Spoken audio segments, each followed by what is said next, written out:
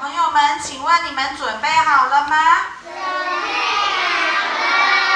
弯腰，敬礼，起来。吉隆坡班丹英达慈济幼儿园小朋友在老师的带领下浴佛。礼佛祖。浴佛就要礼佛祖，接花香。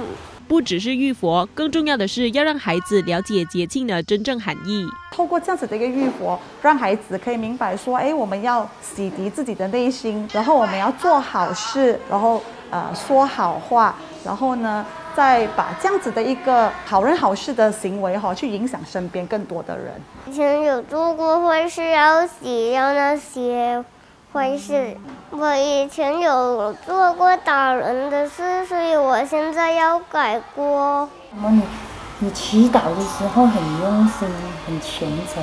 因为我要救苦难人，给他们有食物和家住。